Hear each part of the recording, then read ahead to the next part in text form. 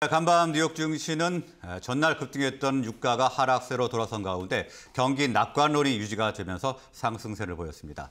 다우지수가 1.02%, S&P 지수가 1.43% 상승한 가운데 나스닥은 1.93% 오르면서 장을 마감했습니다. 자, 그러면 전문가들 오늘 어떤 종목 공략하는지 알아보도록 하겠습니다. 메리츠증권 강남금융센터 황혜수 차장이 연결되어 있습니다. 어, 황혜수 차장 나와 계십니까? 네, 안녕하세요. 네, 안녕하십니까. 오늘 어떤 종목 공략하시나요? 어, 오늘 삼성 SDI를 말씀을 드리는데요.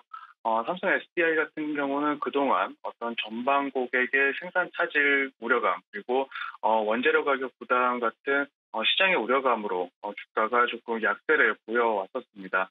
어, 하지만 동사 같은 경우 올해 어, 이런 그 낮아진 눈높이를 어, 상회하는 어, 실적을 달성할 것으로 전망이 되고 있고 어, 또한 그 동사의 주요 그 배터리 제품인 어, 젠5 중심의 수주가 어, 굉장히 끝 빠르게 나타나면서 어떤 견조한 실적 증가세가 올해에도 어, 꾸준하게 나타날 수 있다라고 말씀을 드릴 수가 있겠습니다. 어, 또한 북미 스탈란티스의 어떤 공격적인 증설 계획을 어, 발표를 한 이후에 삼성 SDI의 추가적인 수주도 기대된다라는 것이 매력적이다라고 말씀드릴 수가 있겠고요.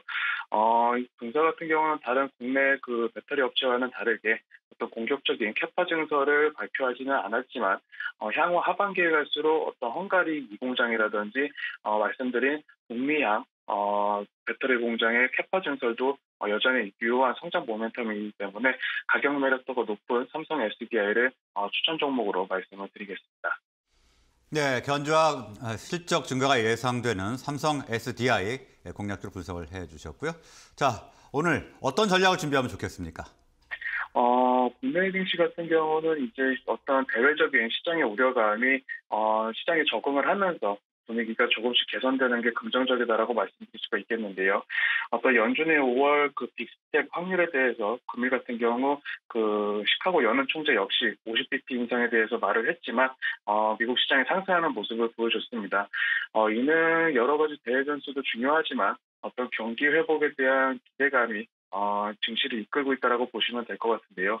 국내 증시 같은 경우도 여러 가지 대외적인 변수로 인해서 많이 흔들리고 있는 상황이지만 어, 이제는 진짜 어, 시장의 심리가 개선되는 부분이기 때문에 어, 낙폭이 심했던 그 반도체 관련 그 대형주라든지 어, 중소형주 쪽에서는 그 반도체 장비 업체들 그리고 어, 많이 그동안 하락이 깊었던 성장주들, 실적이 나오는 성장주들을 위주로 어, 다시 한번 조금 주식 비중을 점차 늘려가시는 것이 유효하겠다 이렇게 말씀을 드리겠습니다. 네, 일단 증시의 분위기가 개선되고 있는 점이 긍정적으로 판단을 하시면서 낙폭이 컸던 반도체 관련주 그리고 성장주 위주로 담아가는 전략 가져가면 좋을 것 같다 이렇게 말씀 주셨습니다. 오늘 말씀은 여기까지 듣겠습니다. 고맙습니다. 감사합니다.